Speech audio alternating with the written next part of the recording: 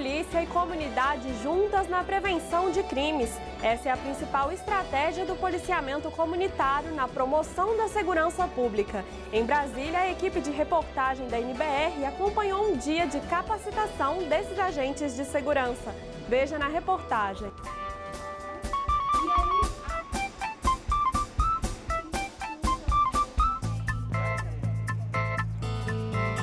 Neste curso em Brasília, promovido pelo Ministério da Justiça, profissionais das polícias militar e civil e do Corpo de Bombeiros do Distrito Federal vão ser capacitados para agir em parceria com a população. Se o cidadão tem ali a intencionalidade de praticar um ato criminoso, se ele vir uma viatura, ele vai proceder né, naquela, naquela intenção que ele tinha. Mas nós precisamos lembrar que a segurança pública ela não é simplesmente dever do Estado. Né? A nossa Constituição prevê que é direito e responsabilidade de todos.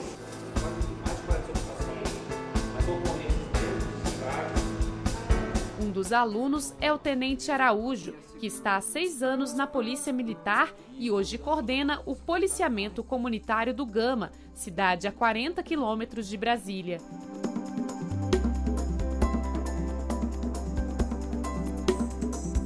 Trabalho de polícia comunitária ela, ela é uma filosofia que perpassa todas as atividades de polícia, todas, desde aquelas mais repressivas até, até as mais preventivas.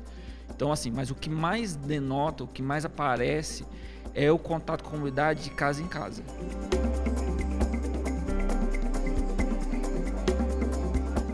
Sala de aula, os agentes de segurança pública refletem sobre as questões do dia a dia do policiamento comunitário. Na parte prática, eles visitam postos de atendimento, conselhos comunitários e delegacias para treinar as técnicas de mediação de conflitos.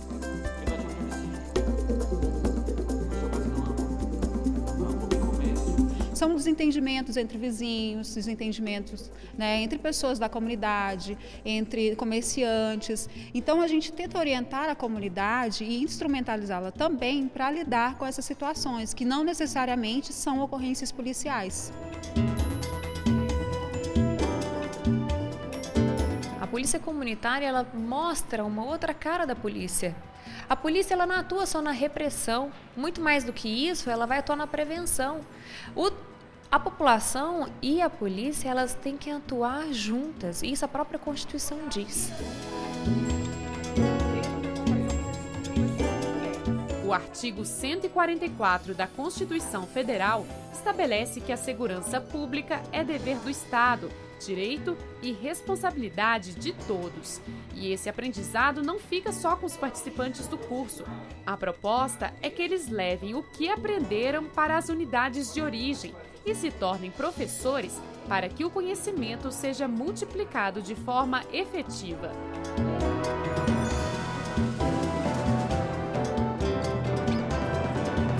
Nós queremos uma polícia que faça valer os direitos da pessoa humana, sabendo que os policiais também são detentores desses direitos, como policiais e como sociedade.